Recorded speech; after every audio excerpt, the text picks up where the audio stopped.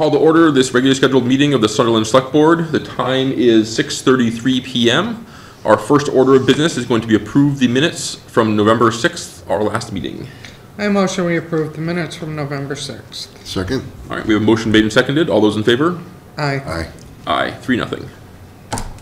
All righty, our first order of business will be to uh, appoint our new resource administrator. Thank you for joining us, Maureen. Um, Jeff, do you have anything you want to say before we? I think, I don't know what's going on. um, uh, yeah, so um, we interviewed Maureen. I thi- No, cat emergency. I'm on a meeting. oh my goodness. We'll talk to Dad. Um, uh, I think we interviewed Maureen two or three weeks ago. Um, very uh, convinced that, that she can do the job no problem. Um, Cindy and Heather and I were in the interviews. Um, has great experience. We have no concerns. Um, seems like it would be a, a wonderful, friendly face for residents and others um, as they enter the building. And we're confident Maureen can help us um, with the, the particular tasks we're looking for. So, Maureen, I don't know if you wanted to say anything else. Um, you don't have to. I just wanted to give the opportunity for the select board to, to meet you. I don't know that our microphone's working either. Yeah. Well, this is going well. Well, Um, speaker.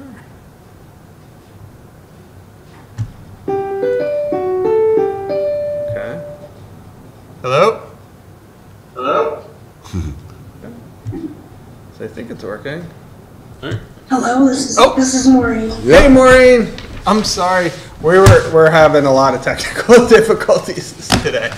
Um, I just did a, a brief intro and said that we're confident that you're going to have no problem um, doing the task and would be a, a very friendly person for residents and others visiting to, to see.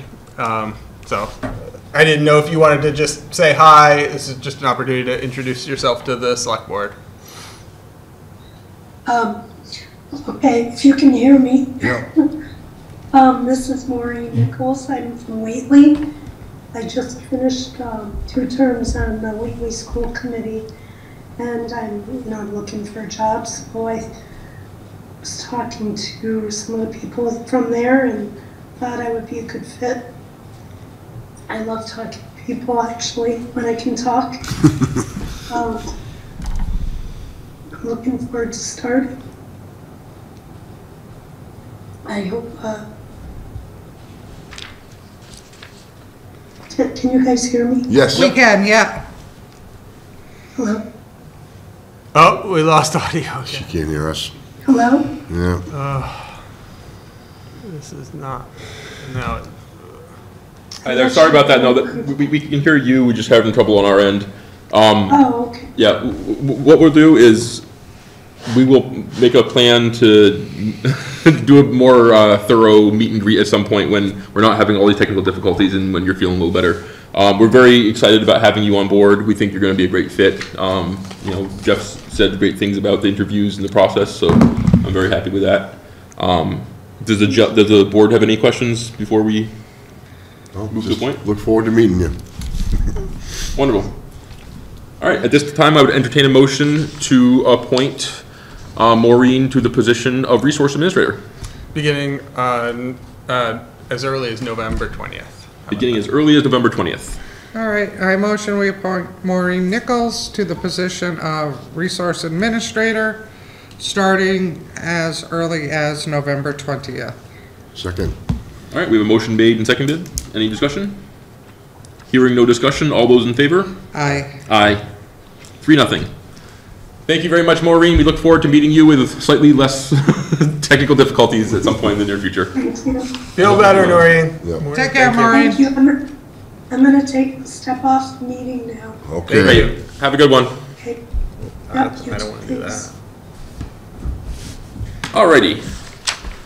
So all technical issues aside, um, let's move on to the budget memo. Take Yeah. it away. So every year we send out a memo from the select board to uh, departments, boards, and committees with sort of general instructions on the expectations for next year's budget. So um, this year, I am recommending that we start with the level services budget. Last year, we had level services and expanded services. Um, We do not expect to have quite the, the same surplus that we had last year. Um, so we'll start with level services, see what, where things are coming in, and uh, if we can do more, we can go back to the departments. I'll- I'm sure they'll be able to come up with more Yeah. ways to spend money if we have it. I mean, we did pick away quite a bit last year at the expandeds, right? Yeah, yep, absolutely. We, um, yeah, there, there were a, a few things. I think the, the library's expanded services was, was a priority. I think the schools got, um, the additional employee. Um, but I think that in general, there were, there weren't a whole lot of requests either. I mean, it, it- they were all fairly reasonable. Um, most of them were increased hours related for employees, so. Now, does it make sense to ask for both up front so that we don't have to go back to them if we do end up finding ourselves in a position to be able to expand some services? Then we just have, know what's in front of us, and we also can know what, what the delta is gonna look like. If, if we do end up having to expand, you know, let's say we have an extra hundred thousand dollars, and we only have twenty thousand dollars worth of requests from people, then we know we can do that without it being a problem. If we have twenty thousand dollars and we know we have five hundred thousand dollars worth of expanded requests, then we're knowing we're just sort of in a different position. Yeah. Um, I mean, I will certainly defer to you on this because you know what you're talking about a lot more than I do, but if, if it's, if it's better for the department to just ask for level and then go to expanded, that's fine. Maybe, maybe something in the middle where a level services budget plus and like a written description of one or two priorities that mm-hmm. if there were additional, and then that way we have some idea to work from and some budget idea. Is that, or would you prefer, I mean, I I can ask for either. What do, Crystal and Dan, what do you think? Well, I guess my biggest, what's the reality of actually being able to go beyond level services, knowing what we know about the increases to healthcare and things like that, is it, you know, we don't want to waste people's time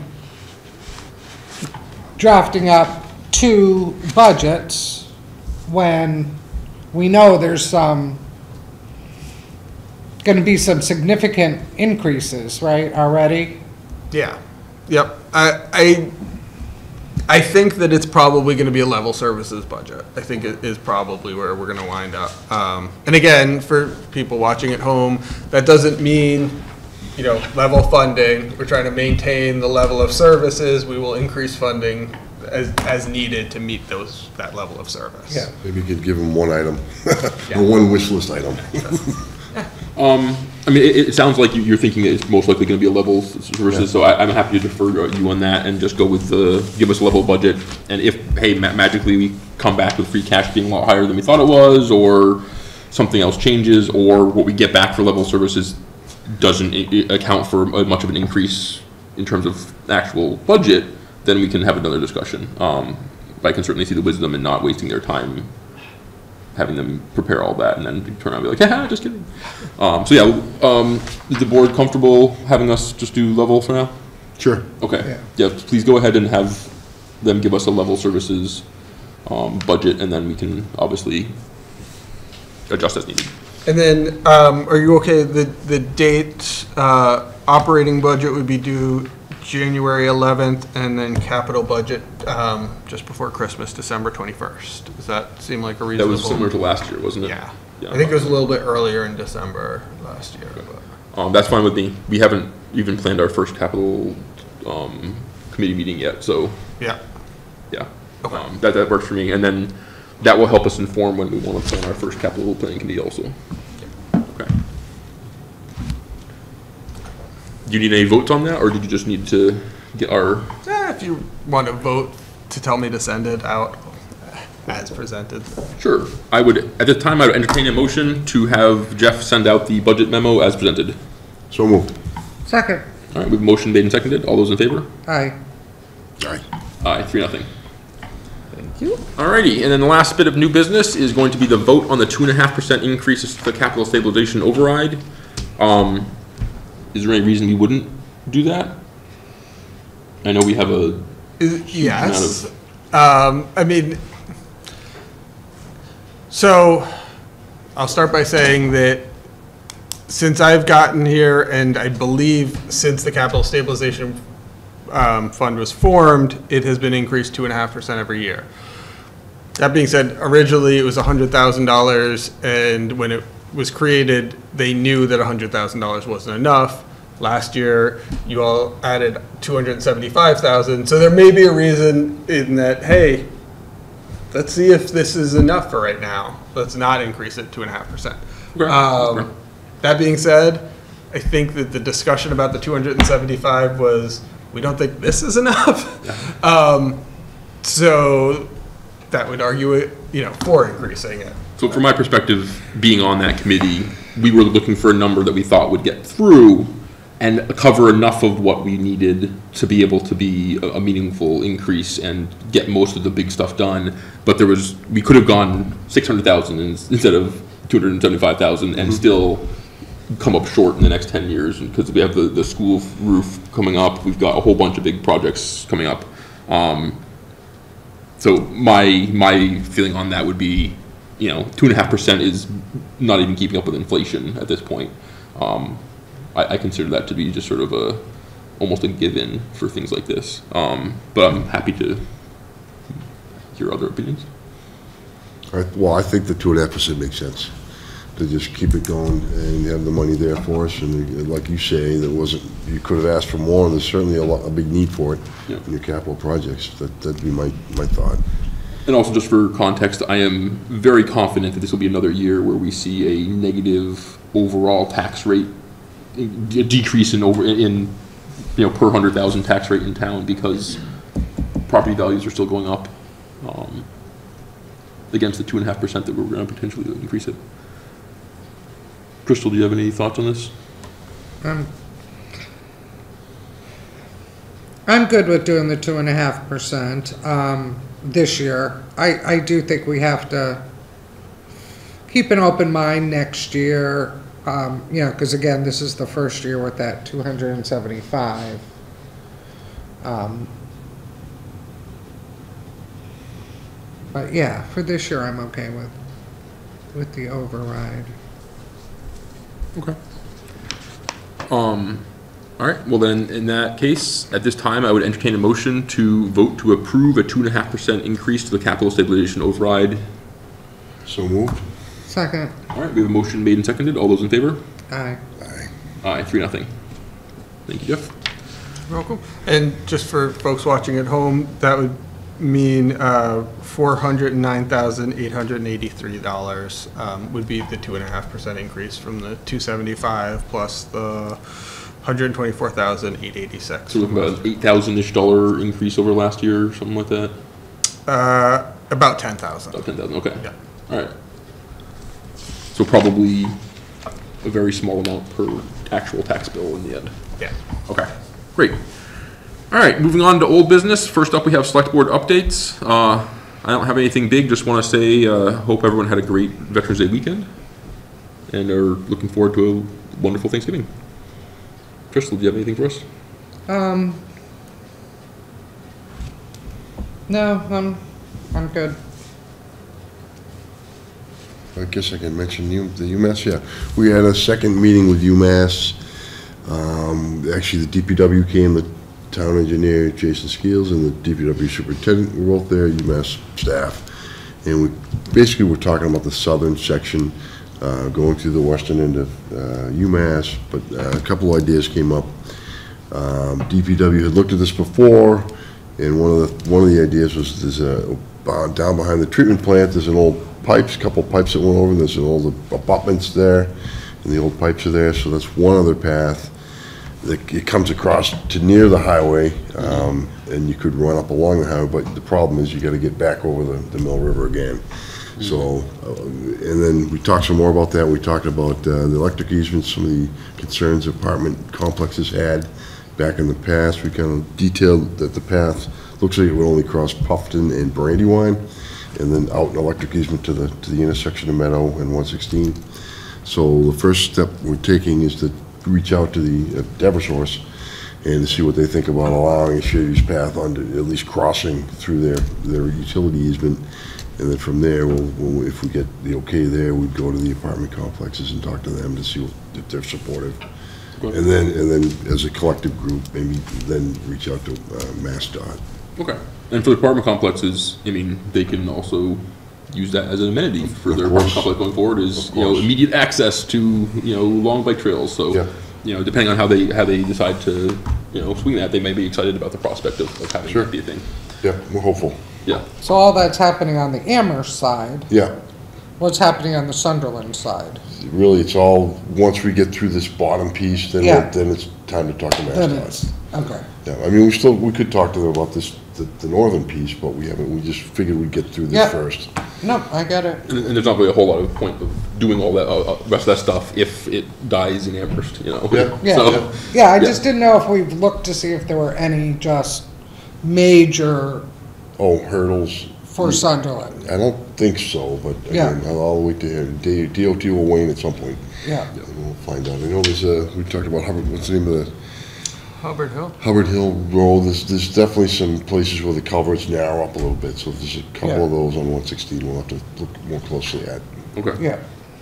Okay, that's it? wonderful. Thank you very much for your work on that, we really appreciate it. Um, Jeff, do you have anything for us for town administrator updates?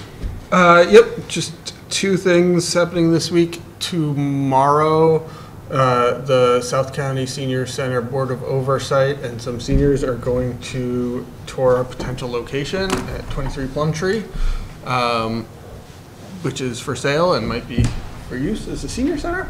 Uh, that's happening tomorrow at 12:30, and then Wednesday um, at 6:30, we're having the kickoff meeting for the Village Center Visioning with Stantec. And um, we've invited the Planning Board, the Zoning Board of Appeals, Historical Commission. Um, So it's, uh, they'll be in town throughout the day, meeting with local businesses and other stakeholders, property owners. And then the evening is to talk to um, town boards and committees about their ideas. Will that be here? Yep, that'll be here at six thirty. Um, working on potentially getting a Zoom, and again, it's the kickoff meeting, so they're going to be coming back again with some ideas and getting public feedback of their ideas later. So um, that is the more important meeting if you're trying to debate. And if two or more of us show, we need to call a meeting. So I have posted it as a joint meeting of the select board, Okay. planning board, ZBA, and historical commission. So uh, Wonderful. that's all I have. All right. Um, last up, just some important dates. Um, you just mentioned the village kickoff. Uh, just a reminder that the town offices will be closed on Thanksgiving, November 23rd. Not that anyone was would be surprised by that, but just making sure everyone knows. Um, our next meeting will be uh, next Monday, November 20th, at our normal 6:30 time. Uh, at this time, I would entertain a motion to adjourn. So Almost- moved. Go ahead. Go ahead. So moved. I second. All right, we have a motion made and seconded. All those in favor? Aye. Aye. All right, three nothing. Take us out at 6:40. Another short one.